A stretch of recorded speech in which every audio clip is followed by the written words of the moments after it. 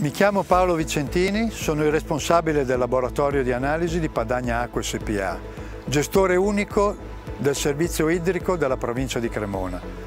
Da 32 anni mi occupo del monitoraggio degli impianti di trattamento delle acque, sia delle acque destinate al consumo umano che delle acque reflue. La nostra azienda si occupa della gestione delle risorse idriche in provincia di Cremona ed è particolarmente impegnata a promuovere l'uso alimentare dell'acqua. In questo contesto il laboratorio aziendale è accreditato in conformità alla norma UNIEN ISOIEC 17025 da oltre 20 anni. È indispensabile raggiungere e mantenere un livello di qualità delle prove che includa efficienza, accuratezza e affidabilità con tempi molto rapidi di restituzione dei risultati per garantire ai clienti un servizio adeguato. Un altro elemento essenziale è la pianificazione dettagliata delle attività. Un ruolo fondamentale è la formazione del personale, il continuo aggiornamento della strumentazione in laboratorio. L'acqua è una risorsa non infinita e ciascuno di noi è chiamato a limitarne gli sprechi e favorirne sempre di più il riutilizzo, soprattutto per l'irrigazione. Un'acqua di irrigazione più pulita assicura maggior qualità e salubrità dei prodotti della terra e di riflesso una maggior sicurezza per la salute umana.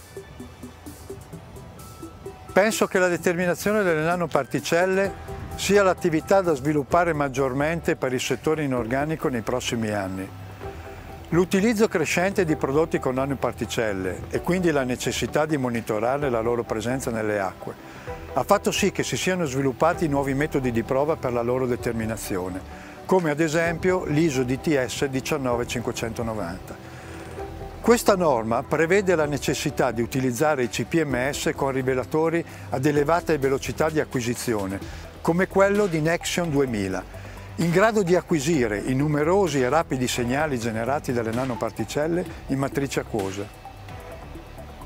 Ovviamente le performance e la qualità della strumentazione analitica utilizzata. Personalmente utilizzo la strumentazione Perkin-Elmer da quando ho iniziato la mia attività in questo settore.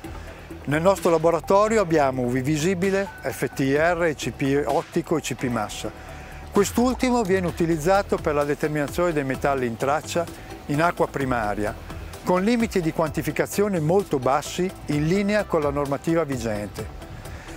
Gli strumenti Perkin-Elmer sono molto affidabili e collaudati, ma la differenza rispetto ad altri fornitori l'abbiamo notata soprattutto per puntualità e varietà dei servizi di assistenza tecnica. Garantire un controllo interno sempre in linea con la normativa ed estendere i nostri servizi analitici ad altri gestori di servizi idrici che non hanno un laboratorio adatto alle loro esigenze o agli obblighi normativi.